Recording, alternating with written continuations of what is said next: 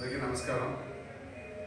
ఇటీవల ఆంధ్రప్రదేశ్ రాష్ట్రంలో ప్రవేశపెట్టినటువంటి బడ్జెట్ ఏదైతే ఉందో ఆ బడ్జెట్ వెనుకబడిన వర్గాలకి అన్యాయం జరిగిందని ఒక బీసీ ప్రతినిధిగా నేను చెప్పదలుచుకున్నాను. కేవలం బీసీ సప్లాన్ కోసం అని చెప్పి పదిహేను వేల అరవై ఒక్క కోట్లు కేటాయించారు. అలాగే కళ్యాణ కానుక అని చెప్పేసి వెనుకబడిన కులాలకు సంబంధించి ఒక మూడు వందల కోట్ల రూపాయలు మన ఆంధ్రప్రదేశ్ రాష్ట్ర ముఖ్యమంత్రి గారు ప్రకటించారు బడ్జెట్లో దాదాపు ఆంధ్రప్రదేశ్ రాష్ట్రంలో యాభై శాతం వరకు బీసీ జనాభా ఉందని చెప్పేసి మనకు అన్ని కమిషన్లు కూడా తెలియజేస్తా ఉన్నాయి. ఏదైతే ఈ క్యాస్టిజం కులాల పేరు మీద ఆర్గనైజేషన్స్ కేటాయించిన డబ్బులు ఏవైతే ఉన్నాయో వాటిలో ఫిఫ్టీ పర్సెంట్ ఆఫ్ ది కేటాయింపులు బీసీ కులాలకు సంబంధించి బీసీ కార్పొరేషన్ సంబంధించి ఉండాలి. ఆ లెక్క ప్రకారం చూసుకుంటే దాదాపు నలభై రెండు వేల కోట్ల రూపాయలు సంవత్సరానికి బీసీ కులాలకు కేటాయించాల్సి ఉంటుంది.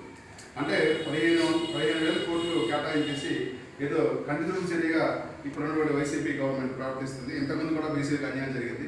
మళ్ళీ అదే అన్యాయం ఈ గవర్నమెంట్ కూడా చేస్తే తప్పకుండా రాష్ట్రంలో రెవల్యూషన్ వస్తుంది బీసీల నుంచి.